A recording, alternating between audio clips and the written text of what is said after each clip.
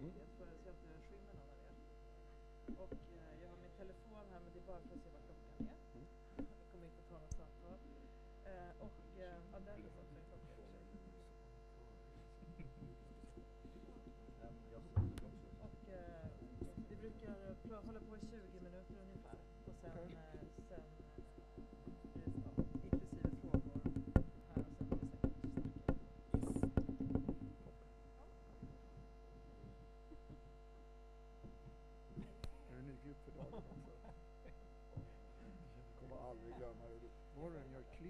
inte.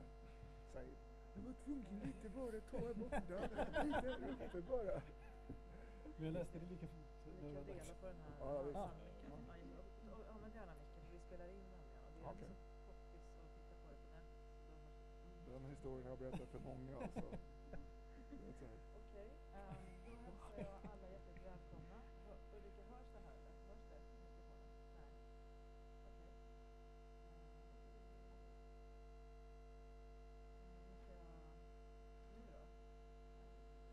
Hallå, hallå. Nu? Okej, vad bra. Toppen. Ehm, hjärtligt välkomna till eh, Göteborg Filmfestival och ehm, den här presskonferensen för eh, tv-serien Ettor och nollor ehm, som vi har världspremiär på här i festivalen med en jättefin visning ikväll eh, klockan 17.30 på Stora Teatern. Det är en serie i två avsnitt som är en och en halv timme långa vardera. Vi visar dem i, i ett streck med en liten paus emellan. Nej, ingen paus. Ingen paus emellan. Vi visar dem i ett streck. Och eh, vi är väldigt glada att ha hela gänget bakom serien här med oss. Och då ska jag presentera. Från närmast mig här så står regissören Johan Renck. Här har vi skådespelaren Jonathan Andersson, Said Legg och, manusförfattaren Oskar Söderlund. Skådespelare igen, eh, Liv Mjönes, Gustav Skarsgård och Aliette Oppheim. Eh, varmt välkomna. Tack. Tack så mycket. Eh, en kort eh, resumé av handlingen ehm, för de som eventuellt inte har sett den här serien. Kanske ska fråga, be manusförfattaren om en superkort handlingsresumé. Det här är berättelsen om ett av världens största kreditkortsbedrägerier som börjar i Göteborg. Men det är också en berättelse om staden Göteborg som är eh, våldsam och korrupt eh, och genomrutten. Och helt omöjligt att ta sig fram i trafiken också. Du kan behålla mikrofonen där, Oskar, för att eh, um, det började med man manuset och idén till manuset. Eller hur började hela den här eh, framväxten av den här tv-serien? Eh, jag läste en artikel i magasinet Filter eh, av en journalist som heter Donny Rolsson som jobbar på GP här i stan. Som handlade om det här bedrägeriet och jag kände honom så fick jag tillgång till hans researchmaterial. Och så byggde jag en historia från det och sen eh, så jobbade jag bland annat tillsammans med Said här som min manuskonsult i att ta mig in i den här världen ehm, som, som de här karaktärerna lever i och ehm, så föddes liksom själva, eh, själva storyn. Ja, och när du säger den här världen, vad menar du för värld då? Eh, alltså det är ju en eh, undre världen. Eh, sen finns det ju också så att säga, det här är ju inte bara eh, en berättelse om, om så att säga traditionella gangsters. I den här serien så är också kommunalråd gangsters. Eh, Måns Herngren spelar en karaktär som jobbar på bank, han är också en gangster. Alltså, jag försöker på något vis förändra den bilden att, av gangsters liksom. Det, det kan vara andra än den vanliga. Okej. som vi ehm. Hade du några inspirationskällor till manuset eller någon, någon så här...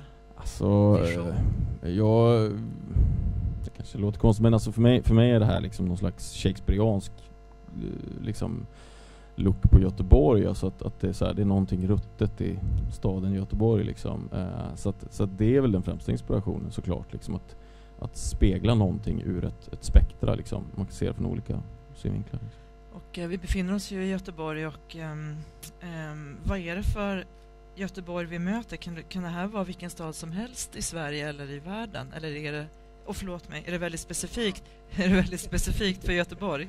Det är väldigt specifikt för Göteborg. Eh, det här kan inte utspela sig någon annanstans än Göteborg. Jag och Johan pratar mycket om det att Stockholm till exempel är väldigt gentrifierat på ett helt annat sätt än, än Göteborg. Här korsas så att säga de här karaktärerna som kommer från olika eh, samhällsskick, deras vägar korsas på ett naturligt sätt, eh, på ett annat sätt. Så att det här är väldigt göteborgskt skulle jag säga.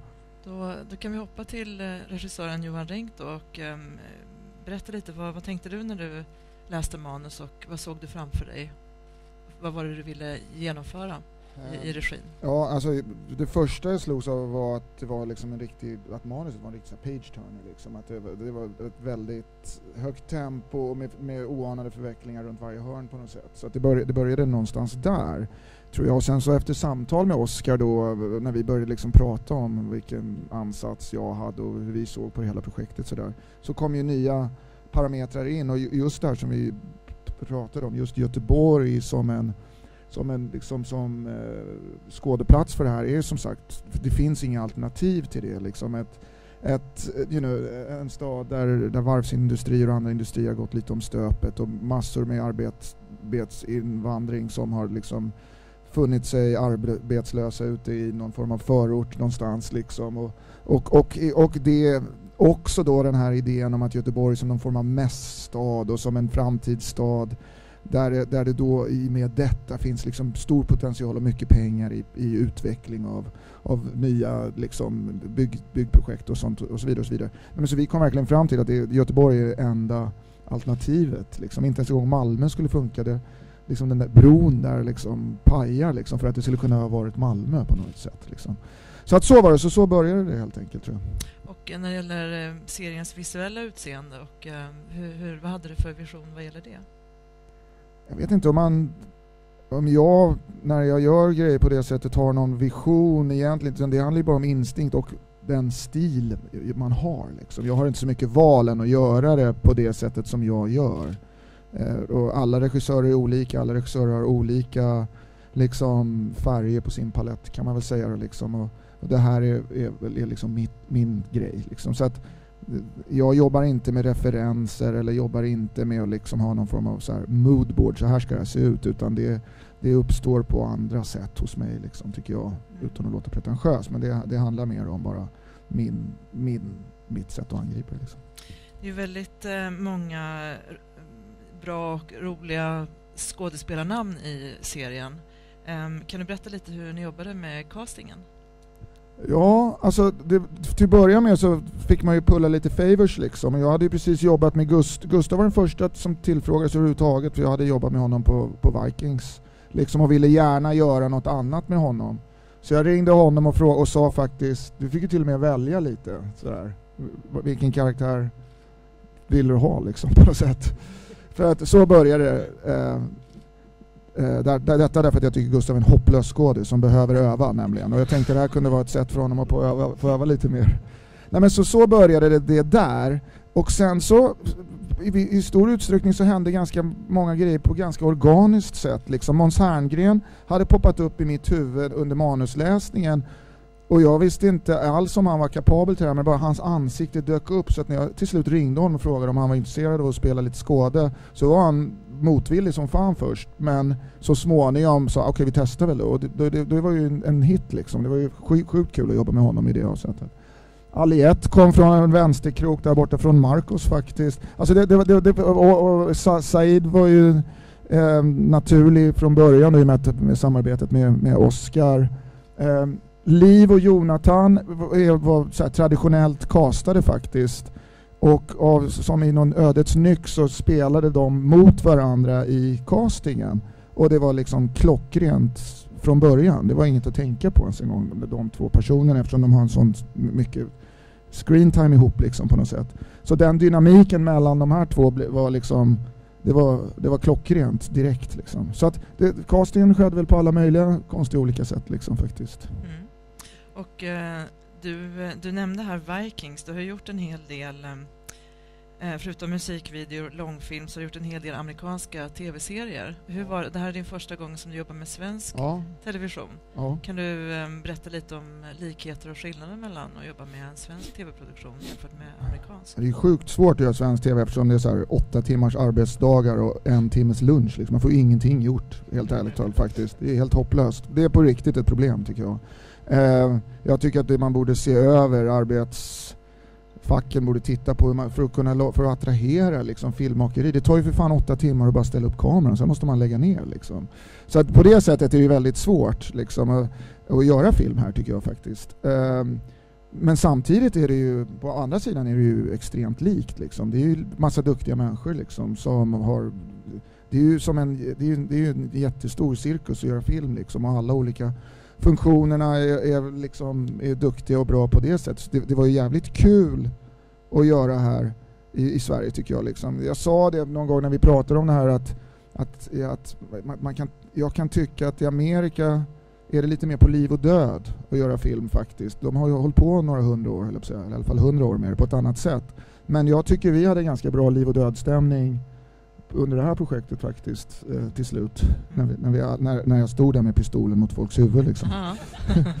Nej då, nej men det, det, var, det, var, det har varit helt fantastiskt och sjukt roligt och Göteborg har varit det, det är faktiskt en grej till man ska tillägga. Det har inte gått att spela in den här någon annanstans i Göteborg bara för att Göteborg är en så jävla visuellt cool stad. Det finns så mycket miljöer som inte har blivit Starbucks. Liksom. Det finns gamla kaféer och hårsalonger och biljardhallar och såna grejer som har otroligt mycket karaktär och som, som liksom är idealiska för filminspelning. Hade vi försökt hitta, vi hade inte hittat någon av de här miljöerna i Stockholm för då hade det liksom, det hade varit fint på något sätt. Utan det finns ju så här, enormt mycket karaktär i flera som man rotar runt här i Göteborg. Så det har ju varit en guldgruva i det avseendet. Jag kan verkligen säga att man borde locka hit mer produktion, alltså till och med reklamfilmer och såna här grejer skulle kunna jobba här bättre än i Stockholm med, med avseende på alla locations som finns här Mm. faktiskt. Ehm, Nu får någon annan prata Ja, för att eh, jag tänkte vi skulle, alla skådespelare skulle få berätta lite om vem ni spelar och vad är den personens drivkrafter och motiv i den här handlingen. Och vi kan väl börja med Liv Mjörnäs och Jonathan Andersson, för precis som Johan Renck sa så är en, en del av, en stor del av, under en stor del av tiden så sitter ni och har ett förhör där du är polisen och du är den som förhörs. Japp. Så ni kan väl bara berätta om vilka ni är och sen fortsätter vi med er andra. In character. Och tja, nej. Ah. Ja, kul att vara här. Nej, jag ska. Ehm, ja, jag spelar då Sebbe som eh, sitter i förhör eh, under seriens gång med förhörsledare Petra här då. Eh, och han är en snubbe som eh, eh blir tagen, liksom en, en, en målvakt. En eh, målvakt för andra krafter och eh, försöker snubbla sig ur, och, ur det här förhöret då. Och det är hans drivkraft i det, kan man säga. För att där, där vill man inte sitta liksom i, den, i det här förhöret. Det är är han då. Och eh, Eh, polisen. vad sa du? Och polisen, Ja, ja. polisen Petra. Eh, som har, eh, hon har väl lite personliga problem också. Eh, utöver liksom att hon sitter i ett långt förhör med, med honom. Men eh, ja, min drivkraft är väl att försöka knäcka honom. Men det är svårt för han är väldigt lätt att tycka om. Eh, så att hon slits lite mellan ja, sina personliga vad, vad- att hon tycker om honom helt enkelt. Men hon måste ju liksom komma fram till vad som egentligen har hänt. Mm, mm, Mm. precis. Ja, vi, ni- får gärna fortsätta, ni andra tre som spelar andra roller. Ja, jag spelar då Carl Nilsson som är den eh, lokala gangsterkungen, framförallt enligt honom själv kanske. Ehm, ja, nej vad driver honom? Det är väl ehm, ja, makt, antar jag. Ehm, via våld. Det är medlet. Makten är målet. Ehm, ja, det, det är så enkelt. Och eh, kanske också lite undereldat av en hypokondri och en känsla av att han likt sina fäder kommer dö snart. Eh, så att det på något sätt tweakar det här våldsdrivna maktsökandet en aning. Kan säga. Och du sa ordet lokal och eh, han, han pratar ju Karl pratar ju göteborgska men det gör inte Gustav Skarsgård. Hur, kan du berätta lite hur du jobbade med Nej men det är ju så språket? när man är skådespelare så får man ju göra saker som man inte gör själv. Mm. Ja. Till exempel en accent eller att man har en annan sexuell läggning eller har en annan relation till en människa som man inte har i verkligheten. Så var det även denna gång. Ehm, och ehm,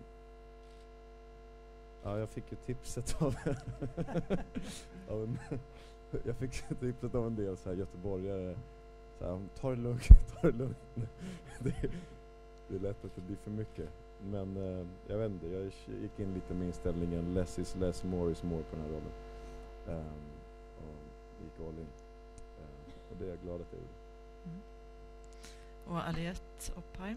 Ja, eh, jag spelar Leila som eh, kommer från Göteborg, eh, och, eller ursprungligen från Marocko. Eh, och hennes drivkraft är eh, pengar framförallt, och, men också sin familj. Eh, hon har planer på att eh, eh, kanske åka tillbaka till Marocko. Och eh, ja, hon är en av kockarna kan man säga. Mm. Och eh, Said, eh, vem spelar du? Jag spelar eh, Assad, en, eh, en babbekung i Kvibergs marknad där Babbekung, det måste du förklara. det är en sån här, ja en kung, han kan sälja allt, ja, kan sälja sand i öknen liksom om det är så. Alltså han får igenom det han vill eftersom eh, han har lite bättre svenska än alla de andra då som jobbar i Kvibergs marknad. Och eh, då har jag ett litet ansvar där som eh, Assad men eh, då händer det någonting helt plötsligt. Då dyker den här nissen upp, Karl. Och eh, i sin tur så blir det så att jag eh, hamnar i en utpressningsdrama. Men jag ger inte upp. Jag har en eh, dröm. Det är att gifta mig med en eh, underbar dam. Och eh, då behövs det pengar för det. Kameler och allt det där. Så och så fortsätter det Mm. sådär. Kan ni, ni har jobbat ihop med, du sa att, eh, Said, du har varit manuskonsulent. Kan ni säga någonting om eh, hur ni har jobbat ihop? Eh, Absolut. Um, så här var det, jag, jag hade skrivit en första version och så var det faktiskt en annan skådespelare som heter Joel Kinnaman som läste det och sa Fan jag har en grym snubbe här som du borde träffa som heter Said. Och så träffades vi och eh, så hörde vi långa samtal kan man säga först eh, som på något vis också ledde lite till Jonathans rollkaraktär så att säga. Hans sätt att prata och så kommer mycket från Said. Och eh, vi fann ju både en vänskap och ett, ett arbetsrelation där jag eh, kunde få hjälp och, och så att säga eh, jag sitter ju inte på de bästa historierna, då skulle jag kanske inte sitta här eller stå här eh, utan eh, man får ju hämta in dem liksom. Eh, och Said var, var väldigt behjälplig att hämta in de historierna. Så att eh, det var ett väldigt roligt. Och, och också vi letade upp inspelningsmiljöer, några av de miljöerna vi spelade in i har vi besökt och liksom tidigare och eh, inspirerats av så, så att det var, det var en väldigt rolig process. Mm tidigt skede så var jag här i Göteborg på någon sån här väldigt preliminär rekrunda och då åkte vi, åkte vi runt i Göteborgs förorter liksom och fick där bor marockanerna och där är syrianerna och, liksom, och fick hela liksom upplägget överallt och med en massa ganska intressanta och lustiga små kuriosa historier om både det ena och det andra faktiskt. Och det, vi- det, det var något till, vi såg ju jävligt skeptiska ut därför där jag och Oskar och Christer Nilsson som är producent, Christer Nilsson ser för övrigt ut som en snut liksom. Så vi gick omkring där i den här förorten, man kan bara se hur folk såg oss med honom i mitten stå och peka på grejer där. Och vi står där och så ser lite skumma ut sådär och liksom okej, gör lite anteckningar. Så han såg ut som någon form av golkung där liksom, så gick omkring och, jag vet inte, här, åkte du dit, fick du någon spö för det sen eller? Ja, fick höra lite där. Okej, har vi några frågor från församlingen? Till gänget? Ja. Om det var självklart att det skulle bli tv-serie och inte film? Ja, det var ju, det var ju, det var ju SVT, ehm, så att, eh, alltså det, det kanske du vet bättre, men det, det var väl aldrig något snack om något annat än det? Eh, nej, det var aldrig något snack. Jag tror, jag tror faktiskt inte den här skulle göras som film i Sverige. Eh, utan, och det, dessutom så är det ju ett lockande format och TV är ju fantastiskt för att man når ut. Man vill ju att så många som möjligt ska se ens saker. Och då, eh, där krossar ju TV film faktiskt. Man kan tillägga också Egentligen är det ju ingen serie då, som du lite säger, det är, utan det är ju en film i två delar på något sätt. Så att jag tror i och för sig å andra sidan Oscar, att det, jag tror visst att det eventuellt skulle kunna ha varit, blivit en, funka för, för bio tror jag.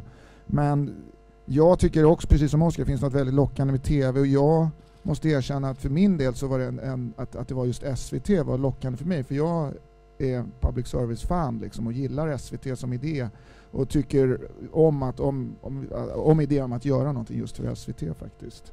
Uh, jävlar vad de Ursäkta ringer mig. killarna Ja, på det- här alltså. Ja. Och Olika killar varje gång också. Okej, ehm, har vi någon mer fråga? Ehm, mm?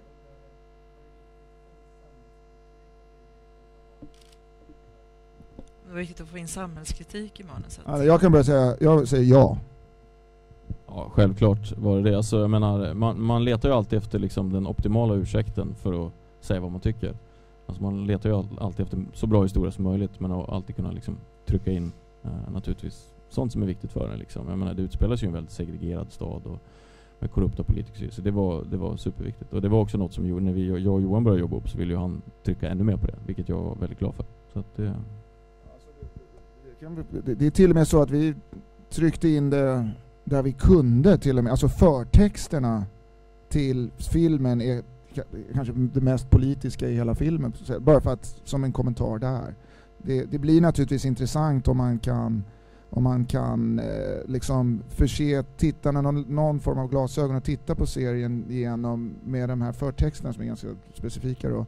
Eh, det hjälper till lite. Även om det egentligen kanske inte är relevant för själva handlingen så är det relevant för den värld vi befinner oss i. Liksom.